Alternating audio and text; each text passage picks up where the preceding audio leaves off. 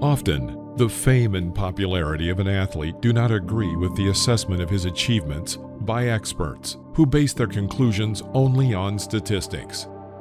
But just as it will hardly ever be possible to teach a computer to write real music or poetry, no statistics will be able to take into account the personal charm or the special charisma of an outstanding athlete.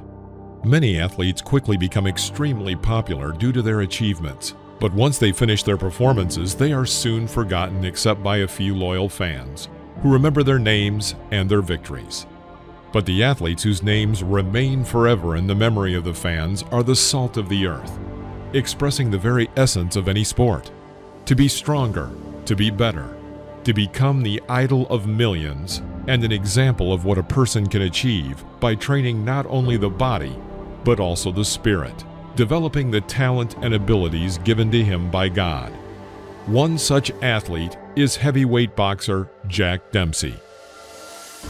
Dempsey. It has the ring of history, of Americana, of a gaudy era that will probably never come this way again. William Harrison Dempsey was born on June 24, 1895, in the small town of Manassas, Colorado. His father, Hiram Dempsey, was a farmer and a laborer, and his mother, Mary Celia, was a housekeeper. The family lived in poverty. Hiram instilled in his sons the love of boxing. He told them about the great John Lawrence Sullivan. The two eldest sons, Bernie and Johnny, began to earn money by performing in the ring. The boys trained in their father's garage, and both took on the pseudonym Jack Dempsey. The fact is that Hiram loved to watch the fights of his namesake, an early Irish American middleweight boxer, likewise named Jack Dempsey.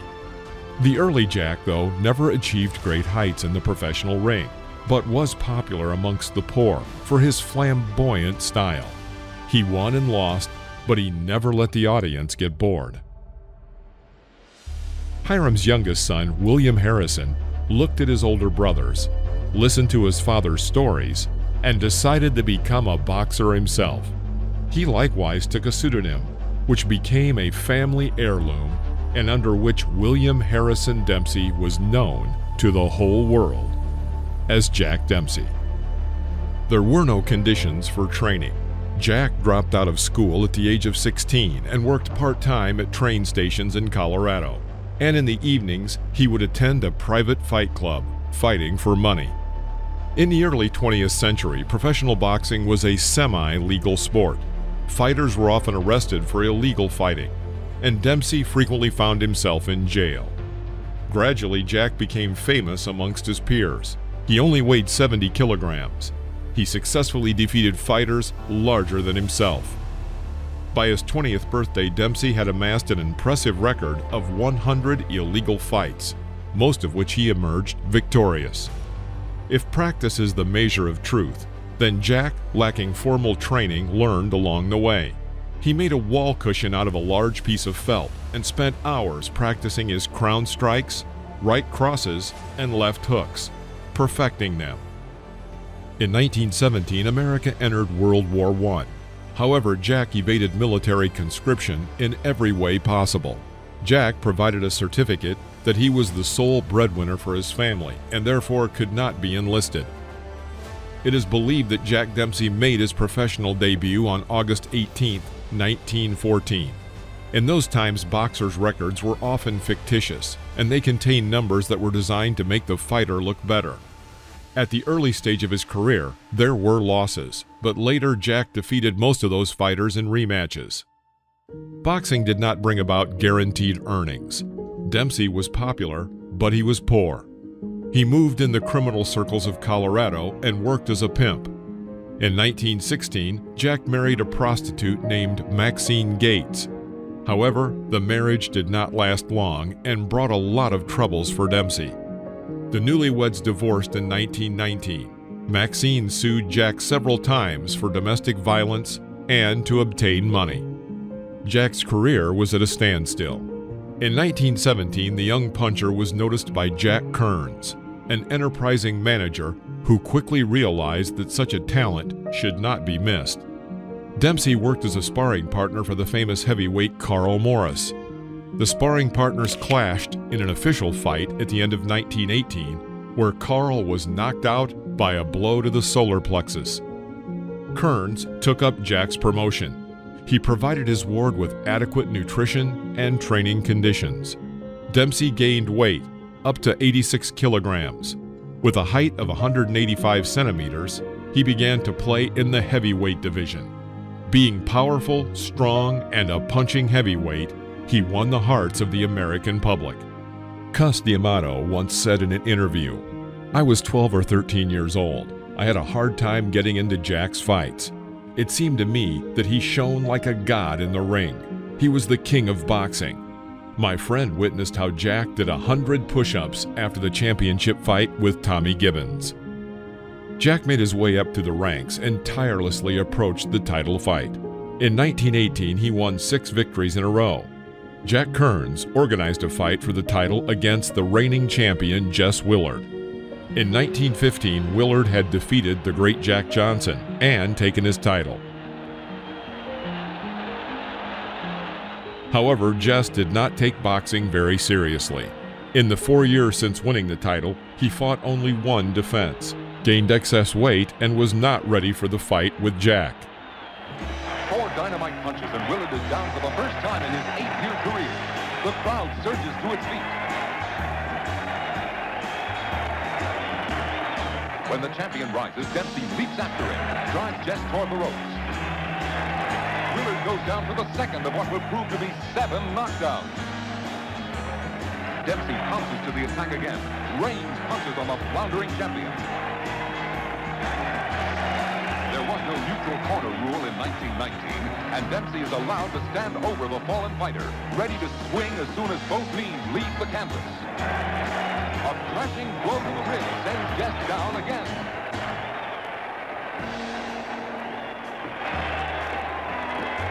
Willard desperately tries to fend off the raging challenger.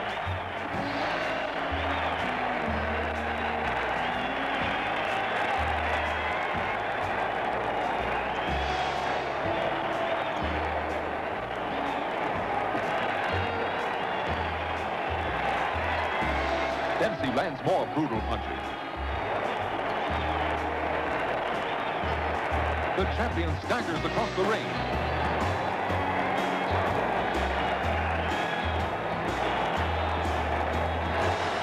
He's down again. The referee pushes Dempsey away. Willard pulls his battered body erect, only to be floored for the seventh time. Referee Ollie is counting over the incredibly game champion. The bell rings, saving Willard from a first-round knockout, but no one hears it because of the fantastic uproar. Dempsey leaves the ring, thinking he has won the championship at his 10-to-1 side bet, a $100,000 payoff. On July 4th, 1919, Dempsey became the new world champion. However, a curious accident almost cost him the title.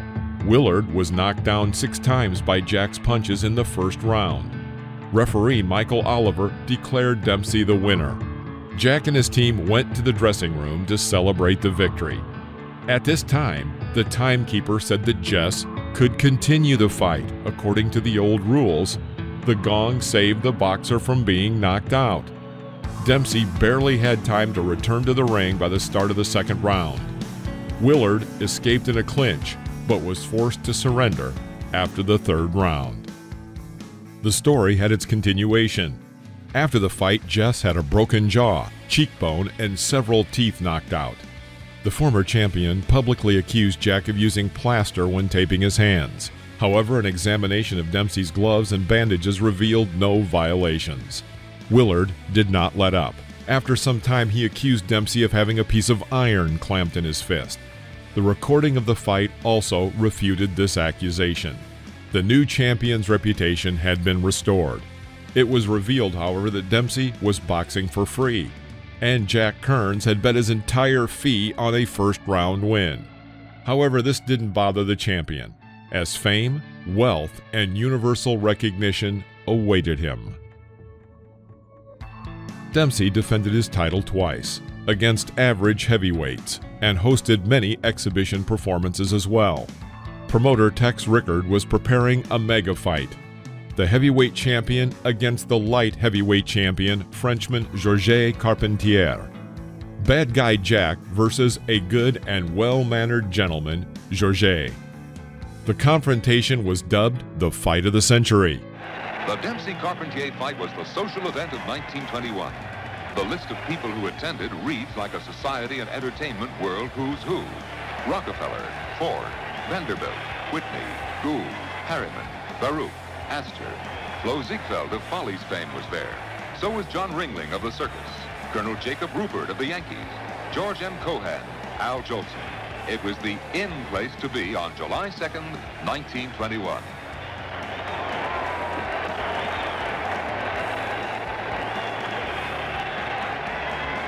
Dempsey, as usual, is pressing the fight, using his greater weight and power. Round two, Carpentier gets home with his best weapon, his potent right hand. The fight was a success. After a cautious first round, Carpentier almost made a sensation by shaking Dempsey, but failed to finish off the champion. During the blow, Georges broke his right arm, and Jack came to his senses and knocked out the Frenchman in the fourth round. This was the first ever boxing fight to result in more than $1 million in revenue.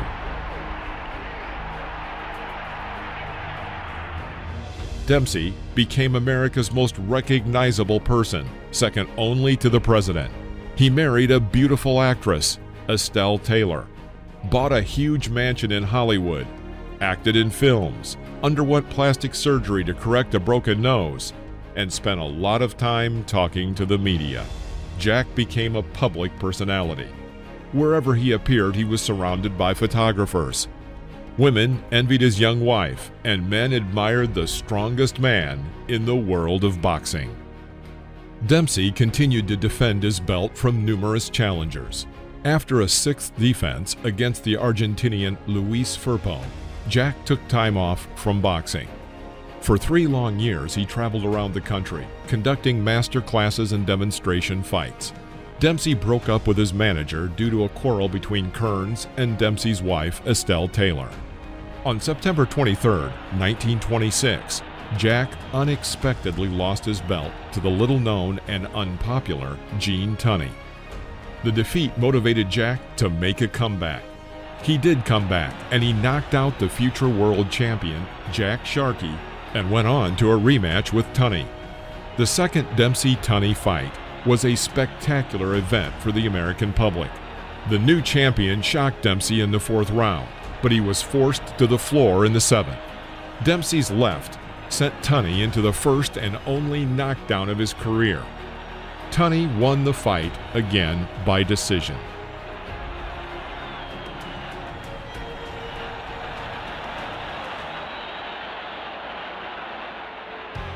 A year later, on March 4, 1928, Dempsey announced his retirement from boxing. Jack Dempsey's life story epitomizes the highs and lows of a meteoric rise to fame. He knew poverty and hunger, which were replaced by fame and success. Sadly, after retirement, the former champion lost all of his savings due to the collapse of the U.S. stock market. And again, he knew bankruptcy and poverty. To all of his problems, a divorce from his second wife and new debts were added. Jack decided to return to boxing. However, this time, it was not in the ring. Over the years of his career, Dempsey had acquired significant experience in management. He helped young boxers to take their first steps in professional boxing. He spent time as a referee and worked as a trainer for such famous boxers as Max and Buddy Baer. With the proceeds, he opened a restaurant directly opposite the famous Madison Square Garden, which was a huge success. Rising from his knees, Jack was even richer than he was before the financial crisis. During World War II, he served in the United States Coast Guard, visited Okinawa, and was a physical training instructor in the U.S. Army.